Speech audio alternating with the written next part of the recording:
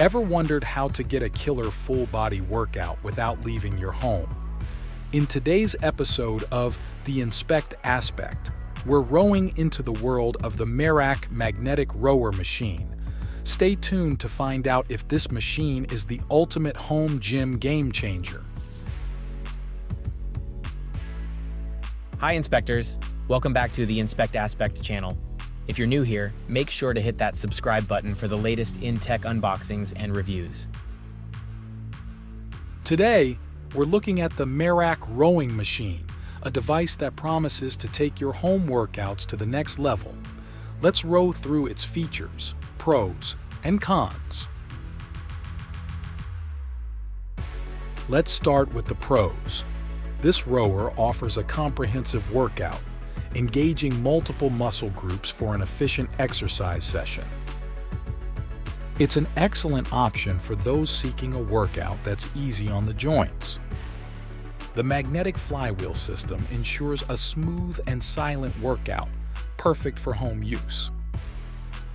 With its compact footprint and vertical storage capability, it's ideal for small spaces. You can set it up quickly and start rowing in no time. The MERACH app offers free courses and programmed exercises, enhancing your rowing experience. With a comfortable seat cushion and adjustable legs, it provides stability on various flooring types. Some users may find it doesn't replicate the intensity of outdoor rowing. To achieve desired results, consistent effort and commitment are necessary. For some, the highest resistance setting might not be challenging enough.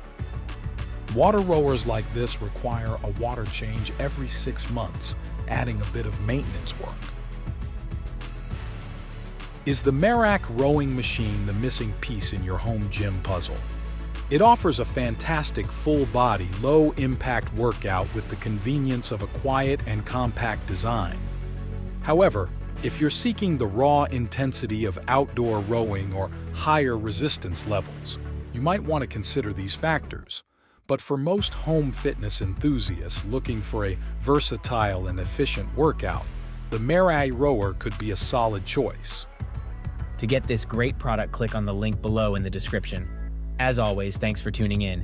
This is the Inspect Aspect signing off. Stay curious and keep inspecting.